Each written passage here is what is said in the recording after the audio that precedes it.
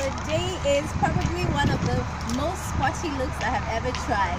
I tell you guys, I keep on pushing myself because when I first put on this top slash shirt dress, I was like, maybe it's a little too casual. So I threw on a pair of shorts underneath it and I wore the trainers. Now let me tell you about these trainers. I just don't get this new trend of wearing trainers out. In my head, trainers mean you're going to